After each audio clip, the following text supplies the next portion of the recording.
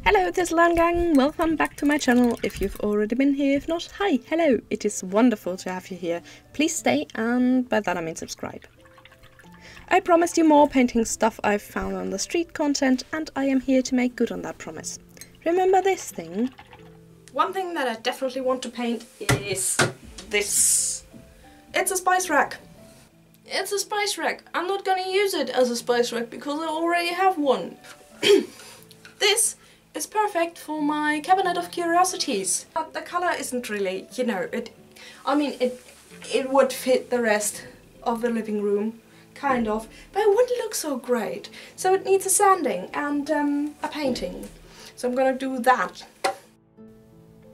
I found this presumable spice rack on a walk with a friend and saw its potential right away. Look at those sides, they basically beg to be painted. But first I sanded it and removed those bars because I didn't need them and then I took off the hardware. I submerged the latter in nail polish remover overnight and that took the ugly old paint job right off. I painted it with some outdoor or weather hardware store in-house brand stuff I still had around from painting my balcony floorboards. It's a great actual old lace color that I really love. For small furniture it's really really great and it's also pretty cheap and I had it around. So what are we doing with this thing? One of my first impulses was Art Nouveau ornamentations, but we've already done that fairly recently, and my range of inspiration actually includes more than the turn of the century. And in this case, that means speech scrolls. Scrolls and banners and written on streamers in general make things 100% more awesome immediately absolutely. I mean, they feature a lot in things that I do. This one from the Annunciation to St. Anne by Bernhard Strigel is one of my all-time favorites. I think it's everyone's favorite. I don't know. I've never talked to, to anyone about this kind of thing, but I mean, look at it. It's it's super pretty. Look at that that middle part. He might not be my favorite Renaissance painter, but the guy knew what he was doing when it came to speech scrolls. Speech scrolls. Speech scrolls. That is not the easiest thing to say, I do admit. And to make this even better, it's going to be fan art for Overlord. I transferred my initial drawings to the side of the rack by covering the back of the paper in charcoal and then tracing my outlines. I couldn't find the actual tracing paper that I have somewhere around, so this had to do. But it worked surprisingly well, and after tracing the charcoal with a marker, I covered the side I wasn't working on scrap fabric to prevent everything being scraped off while the rack was standing on that side. I also clamped a piece of wood to the standing side to make it less likely to fall over. A very good call from my partner. He knows how to avoid me being frustrated and insufferable after the project has fallen over and been ruined for, I don't know, the 500th time. And he would like me to add that he's also the voice of reasonable carpet preservation in my projects. His words, not mine. But he's probably right. For those of you who don't know it, and no, I'm not sponsored, I'm just a huge fangirl, Overlord and its sequel and spin-offs is a satirical action RPG initially released in 2007 that just doesn't take fantasy seriously. It might help that Rhianna Pratchett, the daughter of Sir Terry himself, was involved in writing and voice acting. You play as the recently revived titular Overlord who is tasked to slay the murder hobos that killed his predecessor.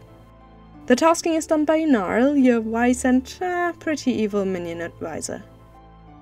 First minion up is of course Gnarl, because he's the eldest minion and the one with the most fleshed out character, and it's also his quote on this side on the shelf, so he had to be there. He is very much evil Yoda who knows how the sentence structure of common tongue works, and he insults everyone and everything and likes to remind you that you have a job to do if you hang out in your Dark Tower TM too much. The only thing I really changed about Gnarl's design is his cloak. He seems to be wearing red underneath that rag of undefined color, and I wanted to do something a bit more colorful instead of just painting with 50 shades of mud, because that's just not as much fun. And also I love a good oxblood red. So we have Gnarl, our stately advisor, and the minion on the bottom of the object scroll is Quaver, the jester from the second game. You already get a jester in the first game, who doesn't really have a name, who gives you fun title like Fatten off Slugs and Explode off Melvin Underbelly, and whom you can kick just for the fun of it. Don't worry, minions are hardy, and they probably like it. But he lacks a name, and Quaver has a slightly more advanced and interesting visual design as well, so I went with him instead. He has a missing eye and also a neck and a skirt that I left off, so yes, he is effectively in the buff and uh, maybe covering himself up with the scroll. And originally he also has tattoos, but I omitted those because it would make everything look very crowded. Instead I gave him a forked tongue because I love drawing these medieval and renaissance style tongues for creatures.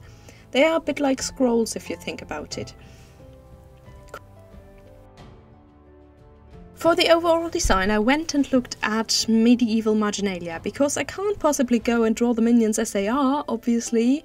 We have a theme here folks, we need to be extra.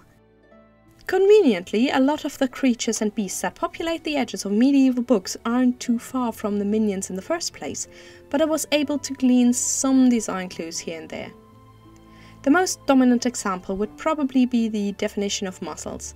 I couldn't have told you from memory that they were drawn this clearly, but it fitted the sinewy look of the minions very well, so I was glad I actually looked that one up.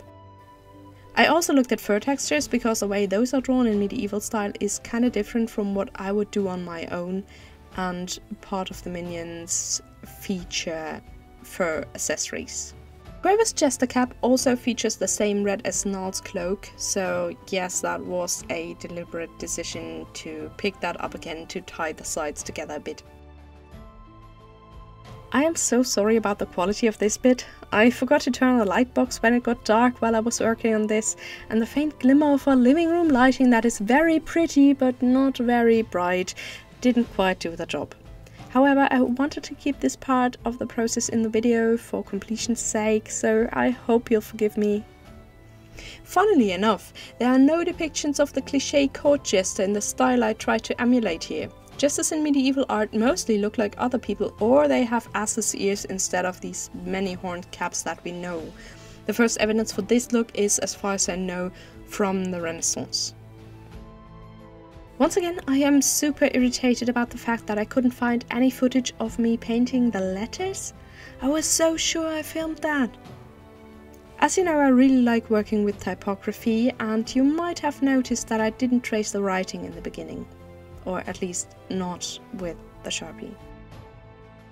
That is because I wanted more freedom with that, and the placement and spacing did indeed change a bit between sketch and final product. I had thought about going full medieval and using a black letter typescript, but I went for something a bit more cursive and readable with a fantasy twist instead, and I'm quite happy with that decision, to be honest. I love the idea to have one minion each as a supporter of sorts on each end of each scroll, so four minions in total. I actually went and started playing the game again just to find the right quotes for this project, and of course I didn't stop then. It's just, oh, it's just so adorable. And full of chaos. Like me! Minions feature as your main weapon in the game as well. They are goblinoid critters who love shinies and mayhem, and they are delightful little cherubs to use the words of the not so distressed damsel that you get to rescue because your weird gargoyle of an advisor thinks you should get hitched. I love these minions so much, and when, when I say minions, I always mean these and not the weird yellow Tic Tacs from Disney. There are four subsets of minions, each named after their color. Browns, strong and straightforward and very much inclined to put everything they can find on as a hat. Reds, who throw fire and can run through flames unscorched but are uh, pretty easily breakable. Greens, sneaky little bastards who blend into their surroundings just to jump an enemy as soon as they get near them, and they are a bit lizardy. And blues, who are frail but don't fucking drown as soon as they get wet like all the others, and who can revive their fallen brethren, and they also make the cutest gurgling noises. And all you do is basically sick him on everything around with an epic hand gesture. I love this game.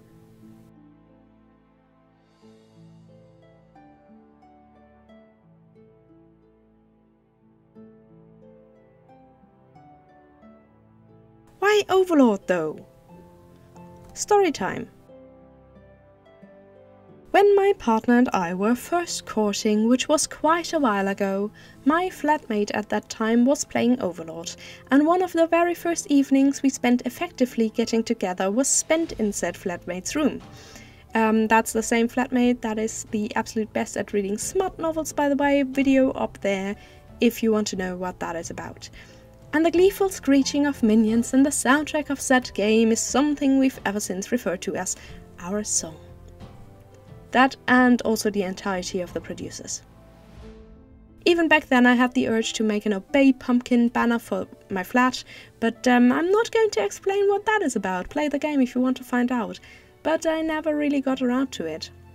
So this is finally the project where I pay my tribute to this wonderful, wonderful game. My partner even got me a copy for one of our fairly early anniversaries, and I love this game so much. Not only for the memories, it's it's just so incredibly fucking cute.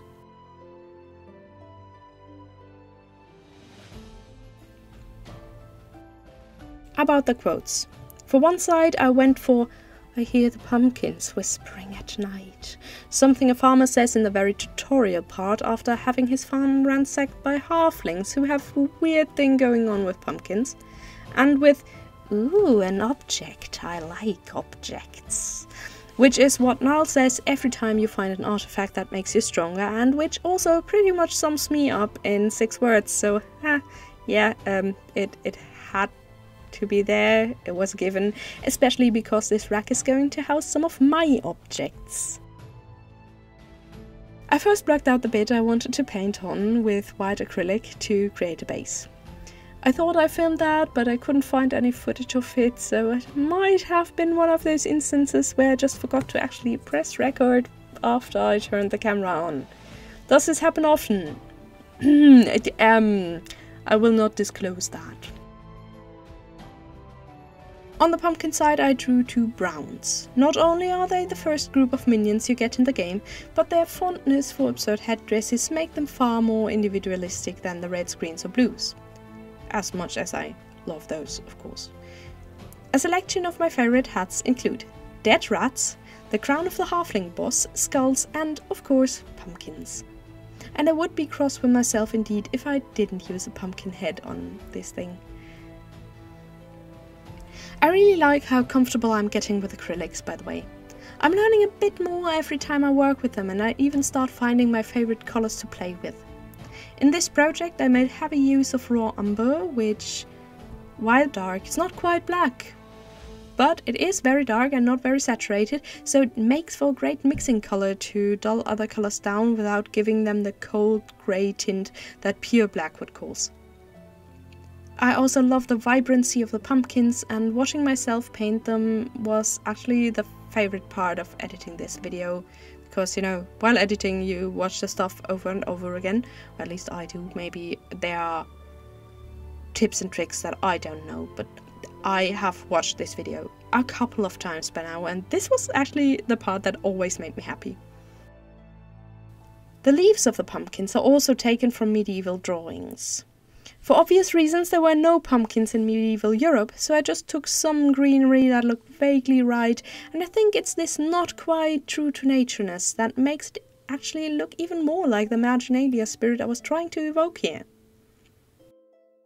One thing I had also a lot of fun with was building up the glowing eyes and also that shiny stone even though placing the pupil always gave me anxiety every single time because half a millimeter can already shift a face from menacing to derpy and that is that is terrifying.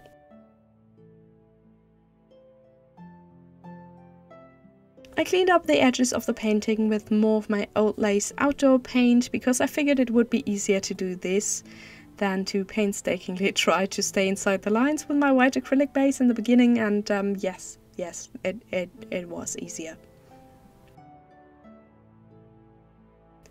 In the end, I gave the entire thing a clear coat of spray paint, and then I hammered in a few brass nails to break up the plain front. I also painted the visible part of my hardware to match the gold accents and the brass nails, and then I screwed it back on and the thing was done and only had to be hung up and our walls do this thing where where they are kind of obstinate bitches. So it was a bit annoying. Anywho, it now hangs. And overall, this project was time consuming, but actually, it was less time consuming than I thought it would be when I first had the idea. And it was definitely worth the work. You don't really see the sides when you first look at the shelf, but I like the details and details like that very much and I love it when friends of ours come come in and notice these new things in the flat even though they have been here before and maybe even have seen the item before. I honestly couldn't tell you which of the minions is my favorite even if I wanted to. If you know which one is yours, either from the game or from my project, or even both, please let me know in the comments.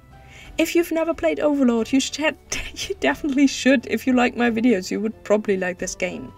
It's great, and if you played it, tell me in the comments so we can fan person about it together. And I hope you like this project as much as I did. I am still... This thing has been done for, I think, two weeks or so, maybe even more, and I am still super excited every time I see it. And I, I just really like it. And yes, that that pumpkin squishy is a stupid joke because it fits the theme. Anyway, um, and yeah, if you if you like this video and this project, consider giving it a thumbs up or share it with someone who might like it as well. It A helps the algorithm and B it's how we build the gang. Um, have a lovely time until we meet again and farewell.